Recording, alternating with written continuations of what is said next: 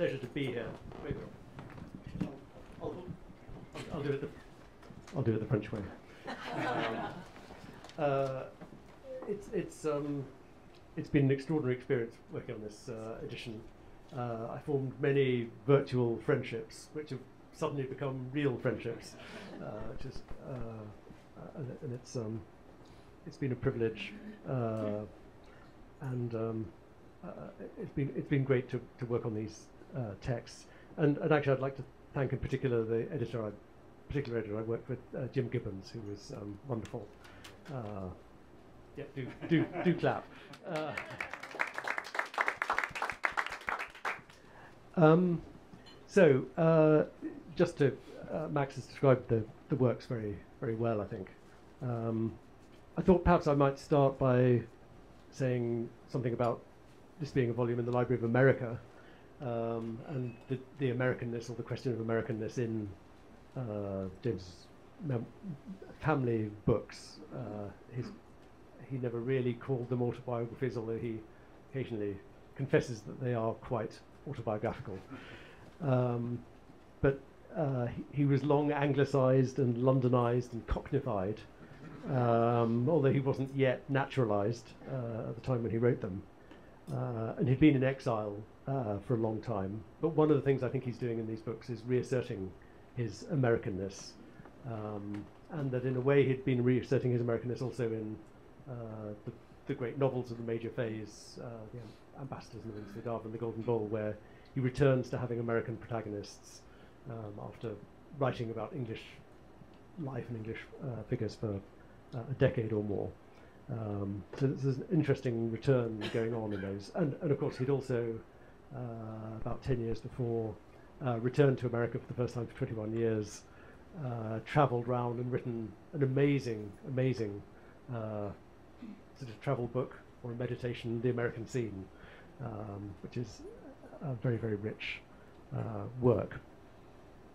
Um, uh, perhaps another thing to say is that uh, Small Boy and Others and Notes of Son and Brother embody some very suggestive principles uh, or theories of autobiography. Um, that, that, and in a way, they're a kind of experiment. Um, uh, for James, the events he recalled in the past uh, become real in the act of remembering them. Uh, and he's, in a way, remembering the past, and he's at the same time watching himself remember and being struck by the vividness of these memories as they come flooding back. Uh, and so, so in a way, you're always watching James remembering and or watching this, often the small boy, um, uh, as, as, we'll see. Um, uh, so I think it's it's fascinating, and, and it made me think of Freud actually, and Freud's interpretation of dreams, and the way that for Freud dreams become dream texts, and that for James the words that he's remembering uh, are often important. And, and for Freud, it's the it's uh, it's the words and their associations. And for James too, the he remembers one word and then it brings this flood of other words and other names, uh, so that he goes to the theatre and uh, you know, he remembers the name of one actor and then he remembers all the other plays they were in and then he remembers the person that, you know the person they were playing opposite. So it's, it's just overwhelming uh, for him. It's, it's a um, it's a new thing in his career. There's, there's nothing nowhere else. Uh, it's quite like that. Um, uh, I, I, might just read you some little bits from James's letters uh, where he's uh, conceiving um, the, uh, these volumes. Uh, he was asked by his nephew Harry, Henry James III, how he got the idea to do the autobiographies. and he says that it was in talk with William James's widow, Alice, in Cambridge in, in 1910, as, as, Max just said. Um, uh, he was he was talking to her about about their the past. He said that turn of talk was the germ. It dropped the seed. Once when I'd been reminiscing over some matters your your dad's and my old life of the time previous, far previous to her knowing us, over some memories of our father and mother and the rest of us, I had moved her to exclaim with the most generous appreciation in response, "Oh Henry, why don't you write these things?" With such an effect that after a bit I found myself wondering vaguely whether I mightn't do something of the sort. Um, uh, and of course, he does do something of the sort. Uh, it's it's actually uh, sort of interesting. In at the end of his life, he's in a way turning from fiction to uh, non-fiction to, to reminiscence in various ways. Um, he wrote a, uh, a, memoir of William Wetmore Story, American sculptor known in Rome in the 1870s. He was more or less forced at gunpoint to write that by the family, uh, and complained a lot about the um, the paucity of the materials. But he, he in a way got the idea for the that's it's sort of the model for Notes of a Son and Brother, where the material is so much richer and more uh, rewarding. Uh, and in the American scene, he's also returning a lot to the places he'd known in his youth in America and revisiting old sites and revisiting old friends uh, and comparing the past and the present. Uh, and, and so, um, uh, in a way, that, that process of memory culminates in these, in these volumes. Um, uh, and the way he wrote them uh, was typically tentative and exploratory and organic, so that he thought of it as, to, as a single book, and then it became two books. Um, and then he started doing a third book, which, alas, he didn't get any further with um, than uh, the, the, chapters we have uh, the middle years. Um, he told his agent, What I really make out is that I seem to have sufficient material quite for two books, two distinct ones, taking the place of the one multifarious and comprehensive one that I originally saw. Um, uh, and so that's why we have Small Boy and others with no letters by William and then Notes of a and Brother, which is uh, uh, has, has, many more document original documents in. Um, uh, and he had to justify this to his nephew Harry, who was uh, going to edit William's letters after uh, he'd finished with them. And uh, so when he was going to do two books instead of one, Harry was, I think, rather aghast. Um, and so J- James writes these long letters justifying uh, what he's done. Uh, he tells him, This whole record of early childhood simply grew so as one came to write it that one could but let it take its way. And it was a miracle to me, and still is as I go on further, how the memories revived and pressed upon me, and how they keep a doing of it in the letters book. This earlier thing makes a book in itself, and I think a very charming and original and unprecedented one of its kind which has the merit of giving a whole introductory or, or initiatory family picture as an approach to the later stage. Um, uh, if he'd only lived longer, how much, goodness knows how many of these uh, books of memoirs we would have had. Um, uh, I thought maybe the education of Henry Adams uh, by his friend Adams, which uh, Adams had sent him in, uh, I think, 1909. Um, worth bringing in because I think he, his responses to it are suggestive. Uh, Adams in the education says no one has discussed what part of education has in his personal experience turned out to be useful and what not. This volume attempts to discuss it. Um, and uh, um, Adams is a bit more utilitarian than James in his idea of what is useful in later life. Uh, James is much more generous uh, in, in, his allowance of that. He reacted very strongly to Adams's book. Uh, in August 1909, he wrote uh, to Adams saying that the reason he hadn't acknowledged the book was because he was so responsive to it um, on account of the typically Jamesian excuse, but uh, but probably true as well, uh, because he says the crushing it was the crushing consciousness of far too much to say. I lost myself in your ample page, as in a sea of memories and visions and associations. I dived deep, and I think felt your ex- extraordinary element, every inch of its suggestion and recall and terrible thick evocation, so much that I've remained below, as it were, sticking fast in it, even as an indiscreet fly in amber. um, and in some ways, that comes quite close to what James himself ends up doing. Uh, that the, uh, it's, it's, such an enveloping medium that he produces. Um, uh, James engages in a way with the same topic, uh, though maybe for James uh, the idea of education isn't quite so much it. I sometimes think that these uh, volumes are like Wordsworth's Prelude, that they're an account of the growth of a poet's mind. And James often in his late years does refer to himself as a, as a poet. Um, anyway, I think we could see the following passage in, uh, in Small Boy and Others as James's response to Adams. Because uh, here the idea of waste, which bothers Adams so much, Um, uh, James finds that nothing is really wasted. Everything flows into uh, everything uh, becomes a, a, a, stimulus or a profit. Um, this is when the, the small boy James is a flaneur, a young flaneur in New York. Uh, I think this is the house which had um, uh, a sort of funny little farmyard at the corner of Fifth Avenue and 18th Street, uh, where he used to stand and peer in through the railings. I, at any rate, he says, watch the small boy dawdle and gape again. I smell the cold, dusty paint and iron as the rails of the 18th Street corner rub his contemplative nose, and, feeling him foredoomed, withhold from him no grain of my sympathy. He is a convenient little image or warning of all that was to be for him, and he might well have been even happier than he was, for there was the very pattern and measure of all he was to demand.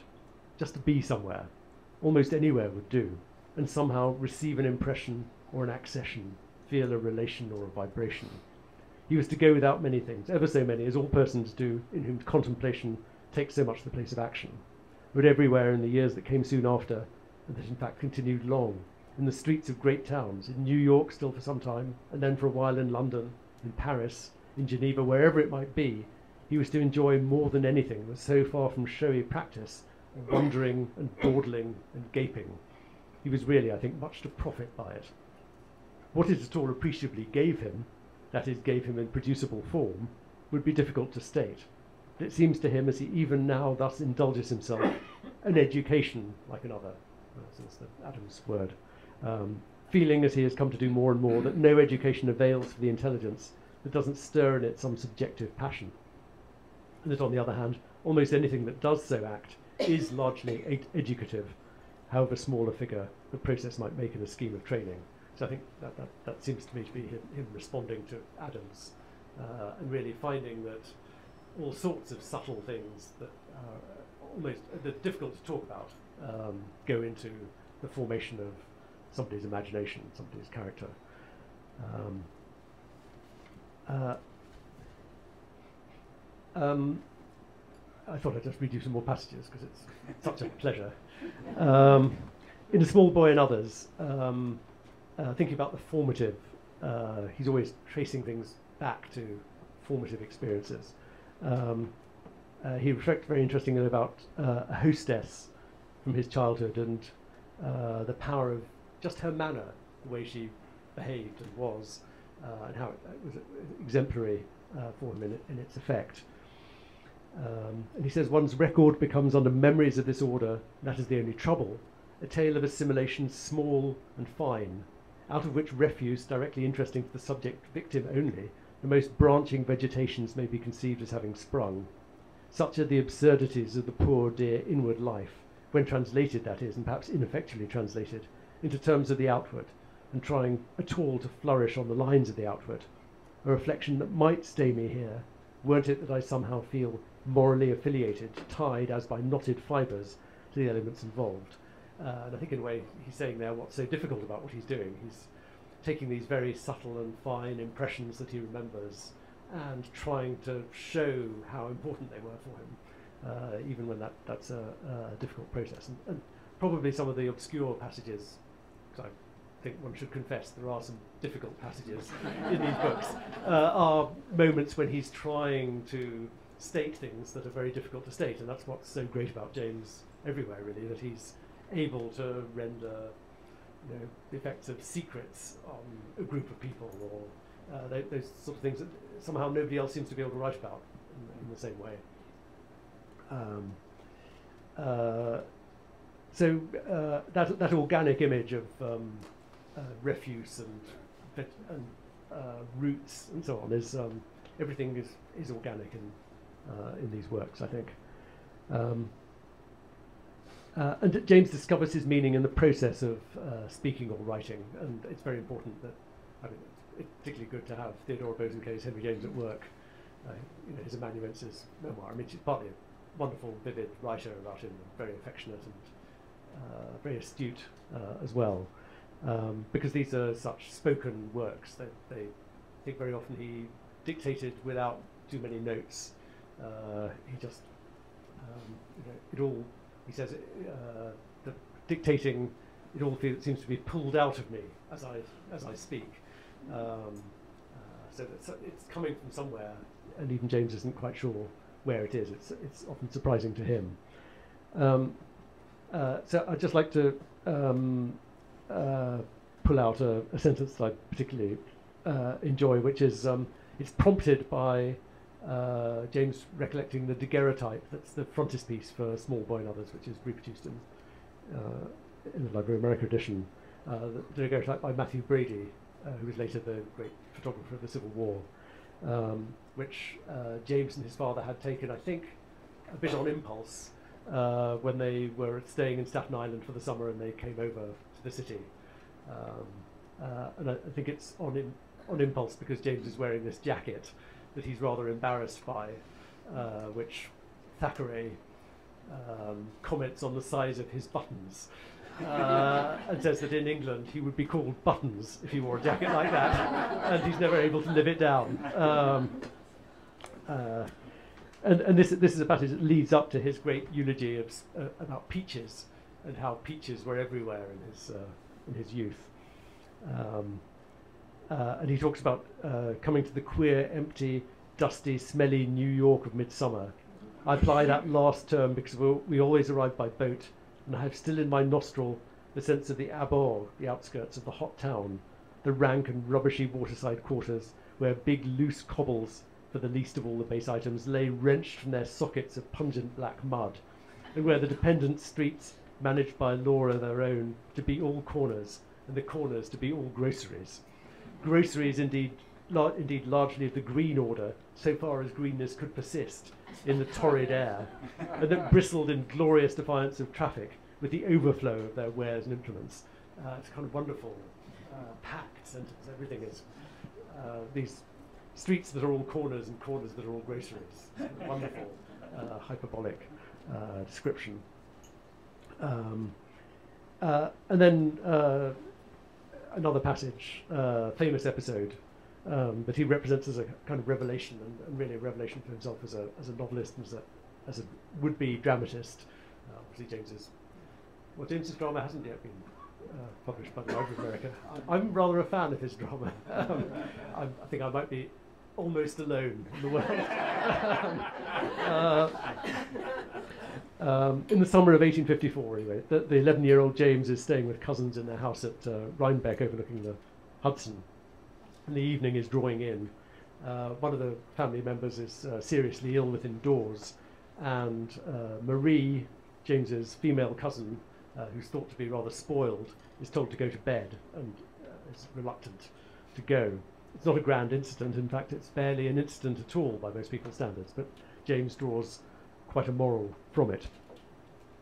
It had been remarked, but in the air, I feel sure, that Marie should seek her couch, a truth by the dark wing of which I ruefully felt myself brushed. I think means that he feels he should, uh, uh, implying that he ought to go to bed as well. Um, and the words seemed therefore to fall with a certain ironic weight.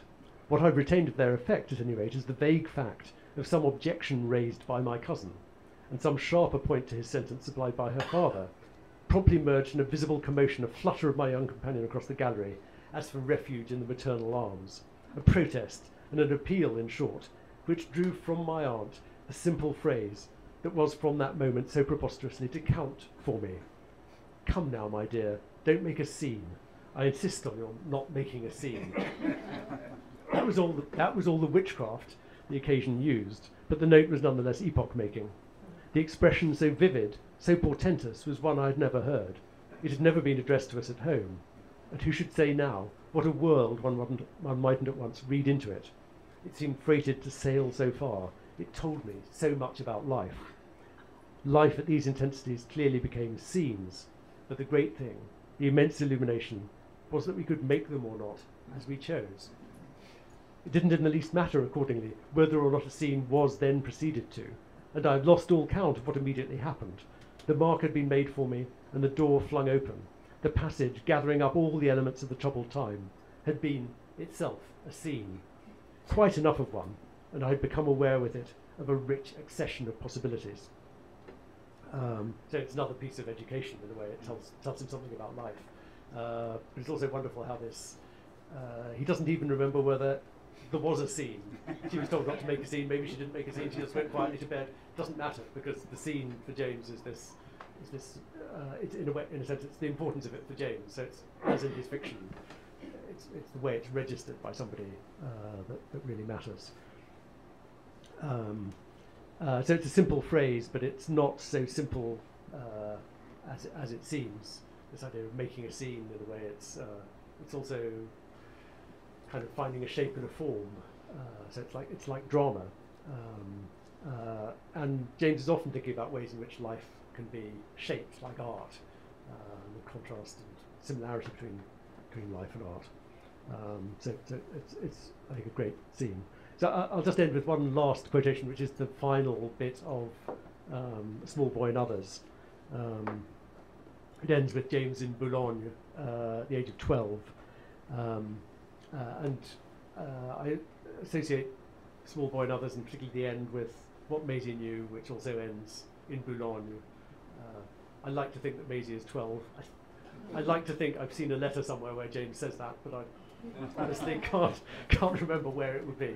Um, uh, but at the end of um, uh, Small Boy and Others, he's in Boulogne and he's simultaneously uh, awakened to the fullness of European experience, and he's coming down with typhus fever. Uh, so this strange uh, double um, uh, double impact, I suppose. Um, he's awakened uh, both by the combination of French types and provincial settings, which prepare him for reading Balzac later in life, and also Boulogne is full of rather down at heel English aristocrats who are there because it's cheaper than living in England. And there's an English library in Boulogne where he's reading the novels of Thackeray about just these kinds of people. Uh, so it's a kind of very uh, vivid place for him. Um, uh, and this uh, and ex- rather extraordinarily, the book ends with James swooning, uh, um, but then with a little comic twist right at the, the very end. Um, so I, I, think it's a, uh, a great piece, and I'll, I'll, just finish with this. Present to me still is the fact of my sharper sense after an hour or two of my being there in distress, and, as happened for the moment, alone. Present to me are the sounds of the soft afternoon, the mild animation of the Boulogne street, through the half open windows. Present to me, above all, the strange sense that something had begun that would make more difference to me directly and indirectly than anything had yet, sorry, anything had ever yet made. I might verily on the spot have seen, as in a fading of day and a change to something suddenly queer, the whole large extent of it. I must thus, much impressed, but half scared, have wanted to appeal to which end I tumbled all too weakly out of bed and wavered toward the bell just across the room. The question of whether I really reached and ran- rang it was to remain lost afterwards in the strong, sick whirl of everything about me, under which I fell into a lapse of consciousness that I shall conveniently here treat as a considerable gap and so that's the end of the Small Boy and Others, and then there's a gap, and then you get the Notes of a Son and Brother. So he swoons into, and then says, the end of volume one.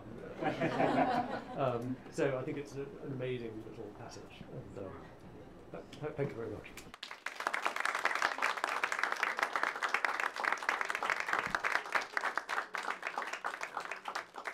So I, I'd be uh, happy to take any questions. That was a wonderful talk, and I thought I might ask you to comment on James's use of evidence. And what I have in mind is a story I'm sure you know quite well. Um, after William James's widow read um, Small Boy and others, uh, she came into possession of a cache of letters written by Minnie Temple to John Chipman Gray. And she thought they would do nicely for the expected second volume. And as you know, mm-hmm. toward the end of that volume, indeed, there are a lot of quotations from those letters. But she and her daughter, before sending them to James, uh, copied them. And so we actually have the copies they transcribed, but not the originals, because of course James destroyed the originals. But it was his use of the originals that I thought I would invite your comments on. Uh, your sense of how, let us say, um, appropriately he use those materials? Uh, yes. Well, he did revise her letters for use in the uh, volume, and uh, it's the kind of editorial practice we wouldn't smile on nowadays. Um, uh, he, I suppose, couldn't help himself. Uh, I mean, he revised, uh, well, he revised his own works whenever he reread them. And he also uh, says um, in his letters to other writers, his friends, I rewrite you much as I read. so rewriting was the way he read, I suppose. Um, uh, and it was an act of affection, I suppose, for him. Uh, very often, I think he's he feels with William's letters. I know that he's protecting William in some way. That he's putting William before the public, and these are private letters, and that uh, he wants him to be well dressed. Um, so I suppose I'm slightly queasy about it, but on the whole, uh, on the whole, indulgent. Um, I mean, he, I think he probably wouldn't have been able to bring himself to use Minnie Temple's letters raw, as it were. Um, uh, but um, so we, and we wouldn't have that amazing chapter if he hadn't done it that way. But I mean, you're right to bring it up. Um, uh, and and it's a very good thing that we have the original letters. Um, uh, yes. Thank you. Yes. Uh, you began by speaking a little bit about James's later reflections on his on America or his Americanism uh, or his American Hmm. connections. Or I'm wondering if you could say a little bit more about that.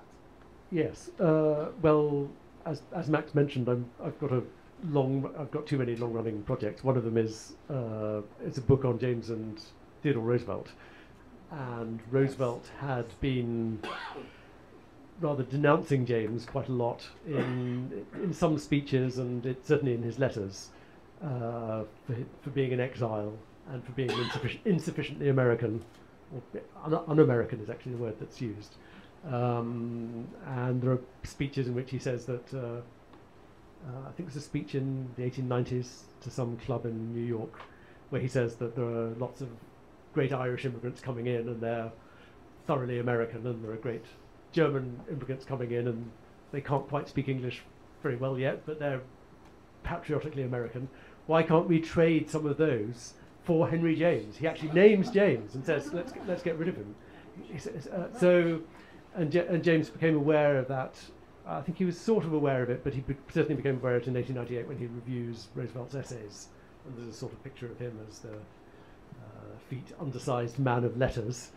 Um, and so I think that's one of the reasons for his feeling that he needs to come back and reassert his roots. Uh, and I suppose also a version of Americanness which is more various and informal and uh, and generous than Roosevelt's. Because gen- Roosevelt's is based quite a lot on exclusion, um, whereas for James, uh, what what Americanness is is is uh, created by all the people who are American and all the things that they do, and that the more things they do, then the richer America is, um, and and so, uh, I mean, in the chapters about Harvard in the autobiographies, he talks about how he's excited to be among all these American young men because obviously the James family had been either taught in, you know, by governesses or in foreign schools a lot of the time. Um, and, and he says he's searching for Americanism. And he actually uses the word Americanism there, which I think is, is also slightly related to, to Roosevelt. So he, he's conscious of the way in which he was, he's quite a controversial figure in, you know, from the 1880s onwards, since, you know, from, certainly from Daisy Miller onwards, people were asking how American he really was and, and so on. Um, he was he was quite tough about it, I think. Uh, you know, he said he didn't read the newspapers and, and so on. But but people were, I mean, he was a very divisive figure in that sense. As in a way he still is. There's still you know, some of the reviews, you know, uh, that that James gets now. Uh, some people love him and some people can't quite manage. yes. Yeah, I'd love, I haven't actually read the play, but I'd love to hear your defense of it, or at least what you appreciate about it. Uh, well, I suppose the um, I have a.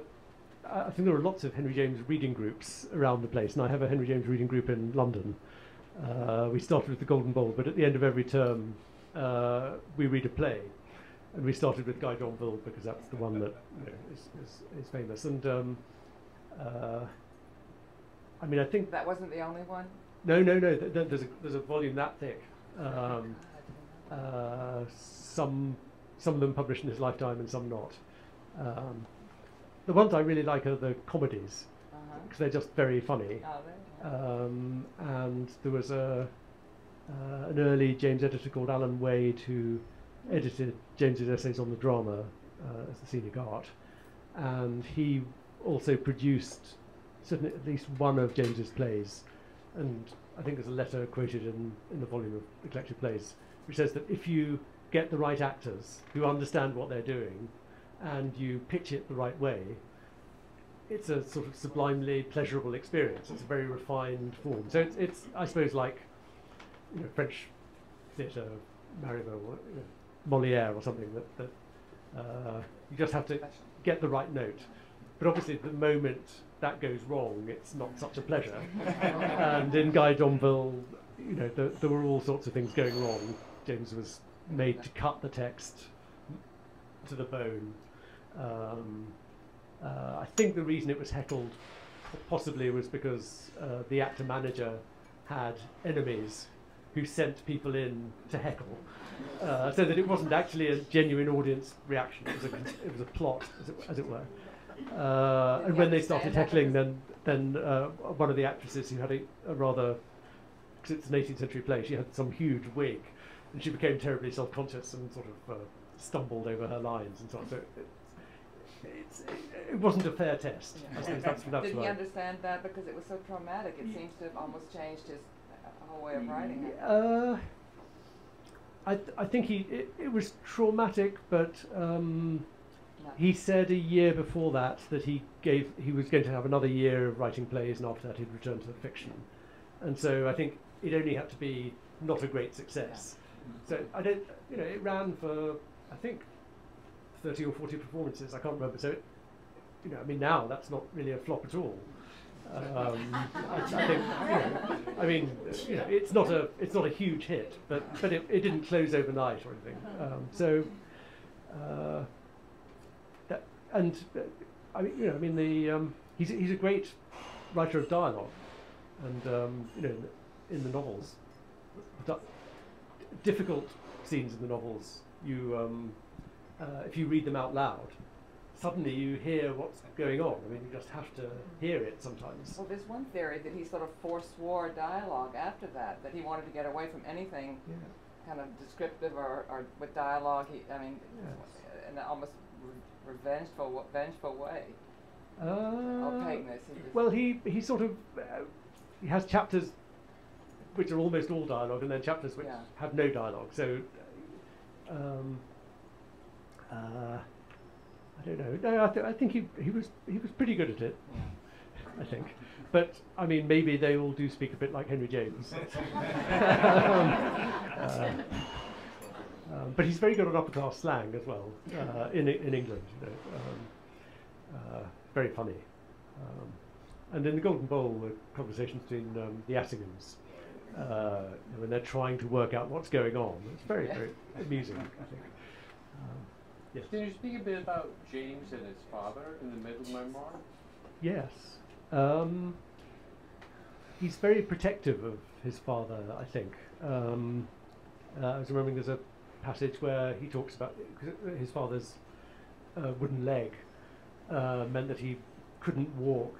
Uh, you know, well, he couldn't walk in the way in which the young Ja- the young Jameses, you know, walked for hours and hours in the city.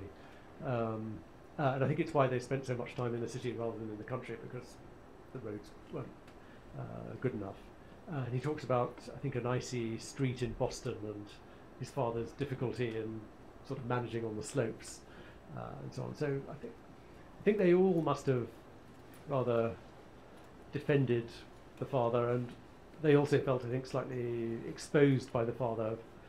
Um, you know, I mean, I, th- I think at school they're asked what church they go to, the James boys, and they ask the father what they should say, and he says, "Say that all the churches are yours. So, you know, the, world is your oyster." And so there's a very unsatisfactory response.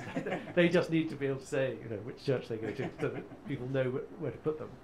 Um, uh, but th- I mean, the father is. Um, well, uh, was it the Swe- Secret of Swedenborg was one of his works, and uh, I got, was it W. D. Howells or some, uh, somebody who said um, uh, that that he kept it in that book.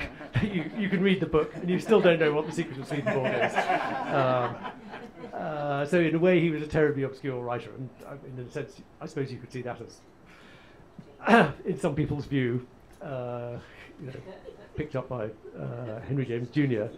Um, uh, but also, he, um, I suppose, the thing that uh, maybe the moral inheritance for James was that um, Henry James Sr. was very passionately against prigs, uh, you know, self-righteous uh, people and moralism.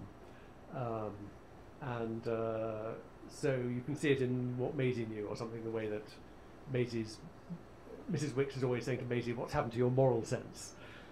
And in a way, Maisie doesn't want to have a moral sense, but there's something moral going on underneath, and it's just that what's moral is richer and more. I mean, it's more Jamesian, really.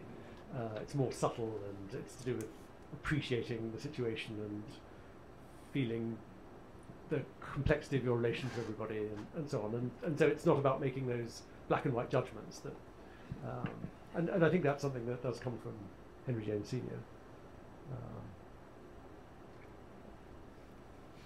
yes.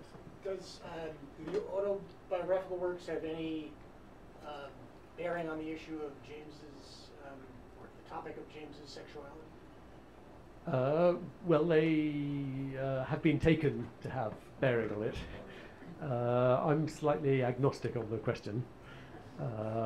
But I suppose I think that there isn't quite enough evidence to be sure, and that since James is so ambiguous about most things, most of the evidence is ambiguous too. Um, I perhaps should say that there is another edition of James's autobiographies which has very long interpretive footnotes explaining why certain scenes show how gay James is. Uh, and I'm slightly, that's not my kind of editing really. Um, uh, I, I don't know. I mean, I, I, I'd like to keep an open mind, I think. Um, James certainly felt late in life that he regretted things. I suppose, uh, well, I think in one of those passages I read out that um, uh, he talks about all the things you miss if you uh, follow the imaginative life to the full. Um, and he felt those sacrifices in sort of his loneliness late in life. But what exactly the alternative to the loneliness would have been, he doesn't say. Um, uh, Edmund Gosse, um, I've just I've just written a piece for the TLS about James's illness and death and funeral. Uh, Edmund Gosse says that James used to slip into Chelsea Old Church um, filled with unutterable regrets. And uh, you know, so he didn't go to church services necessarily, but he went to church. To, and, and, there are lots of scenes in James' fiction where people go into churches, you know, informally, privately, to, to meditate or reflect on things. So um, we don't know quite what that was. Um, uh, but I mean, I suppose everybody should read the autobiographies and see what they think. Yes. Lafarge, Sorry? Paul Lafarge. John The paint- the John painter- Lafarge. The painter, Yes. John LaForest? yeah. So, what about him? Well, I mean, the relationship between James and Lafarge. Um, in, in terms of James's sexuality or in terms Yeah, I of. mean, uh, I, I, I have a collection of letters that's been embargoed by the Lafarge family Oh. from being revealed. So we've never opened them, and I'm just curious, because he speaks very movingly about Lafarge Yes. in the middle memoir. Oh, that's right. Well, I think that is to do with Lafarge's. Uh, no, I'm slightly hazy about what it was, but was it his? I think a mental breakdown or a financial no, crisis no, or something. There was something, wasn't is- there? This is when he's Bill's tutor. He's, he's, uh, Uh, they're in Providence, they're studying art. oh, when they're studying art. Yeah. Uh, I think he's quite appreciative about Lafarge's work at that when he's talking about that point, isn't he? And he talked. He certainly talked. I mean, for, for him, Lafarge was a great reader of uh, sort of But- modern but- literature, of Browning yeah, and right. French so, literature so and they so on. bond over French literature. Yes. Uh, and Lafarge represented Europe and European culture to them, Right. really, because so he he seems to idealize Yes. Farge. Yes, yes. And uh, I mean, Lafarge was certainly one of the important figures in his early life, and, along with Thomas Sargent Perry, you know, who was another great reader, slightly slightly younger than James, but who was, you know, reading Turgenev and uh, French literature. Uh, I mean, it was a very striking little set of people uh, there, I think. Just one last question on the American issue. In your own work, is there uh, a reading or a sense of encounter with T.S. Eliot's feelings about James, given the similarity on some levels of their of their histories? Um, well, I mean, James, I don't think was ever aware of Eliot, No, but, but but Eliot was certainly very aware of James, and um, well, he could he could just have been, uh, but you know, he happened not to be, I think. Um, but you know, the the early poems of Eliot, he seems to be thinking of himself as being a poet who was writing poems that were like James's short stories. So, you know, Portrait of a Lady obviously is a Jamesian title, and it's a very Jamesian situation. It's it's like a late James story, uh, really. Um, and well, when Christopher Ricks was doing the uh, his edition of the early poems and mentions of the March Hare, um, he, he sent me a few of the poems, asking if I could find Jamesian echoes, and there certainly there, there were echoes of the Bostonians, I think, in, in some of them. Uh, I can't remember what else, but but so he was, and and I think there's a, an epigraph. I, I won't say I won't try and remember which poem, uh, which comes from uh, the Aspern Papers, uh, and so on. So I mean, he he does have James is there. Uh, as he was for Ezra Pound as well, I think. Um, uh, I mean, obviously for those two, he was a sort of model. Um, No, the, the point about Pound is good. Okay. Th- thank you very much.